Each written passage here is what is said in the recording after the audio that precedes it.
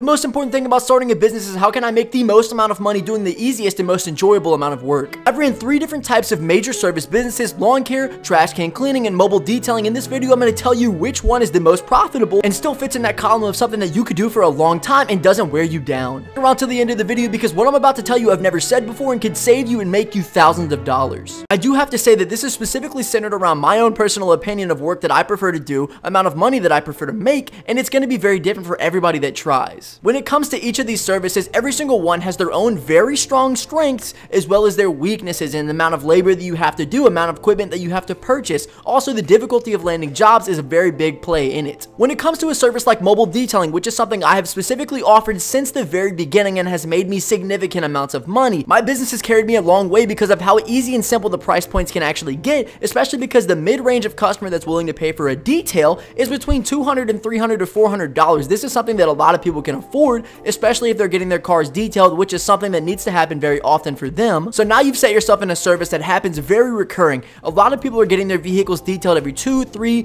four months, especially if you have a long list of clients, you're going to be detailing cars very often, very frequently, especially with such a nice price point. Everybody has multiple vehicles, everybody has a need for this because their vehicles get dirty every day. If you need help keeping up with customers, sending estimates, invoices, or collecting payments from all of your customers for free, then check out QuoteIQ in the App Store and the Google Play Store, or you can try any paid tier right now for just $1 at myquoteiq.com, which is going to be the first link in the comment section and the description. Also, if you sign up for any tier for a year using my link, you're going to get a free coaching call with me. And I will say that none of these businesses are very like high cost to entry. A lot of them are very, very low cost to entry. Even if you start scaling up, you're going to need to buy a couple more things, but a lot of them really just require a pressure washer, especially trash can cleaning and mobile detailing. I would say mobile detailing is a little more expensive, whereas trash can cleaning comes in as a little less equipment that you need. But mobile detailing isn't just all great. There's a lot of people that you don't actually want to end up servicing. There's a lot of vehicles that are going to take you immense, immense amounts of times, and a lot of these customers do not want you to ask a ton of questions,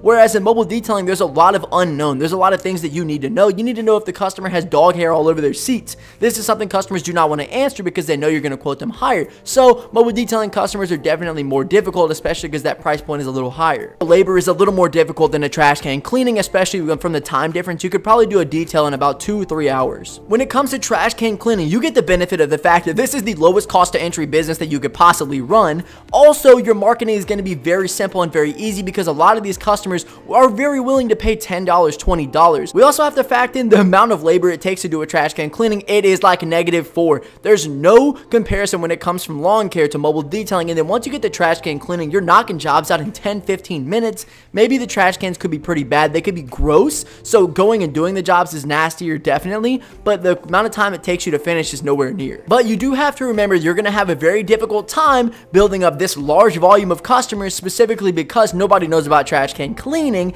as well as the recurring value is very strong. Everybody's trash can gets dirty and they could probably get their cans cleaned every two weeks, three weeks, maybe even every other month or every two months. But the problem here is that a lot of these guys have no idea about it, as well as they probably won't care after the first or second cleaning. At the end of the day, how much time does each customer really spend with their trash can compared to their car? Lastly, we have lawn care. This one is kind of a doozy for me. I started lawn care back when I was in high school, and it is very labor intensive. There's a lot that goes on whenever you're trying to do lawn care, especially if you don't have a full team. Of course, it's low cost to entry off in the beginning because there's not a lot of yards that you have, and it's going to be a little more simple, but you can scale up extremely quickly. I mean, the recurring value on a lawn care service is so high that it's probably one of the most lucrative, also one of the most profitable services in my opinion, but the labor is a little bit up there, especially once you start to get to like 10, 15 yards a day. But from a certain standpoint of labor that I would actually comfortably want to do every single day, this is not an option. This is not something that I want to run long term. Maybe a little bit of a side hustle, it makes good money, but it's very difficult over time. So the couple things that matter the most in your business is how much does it start to begin?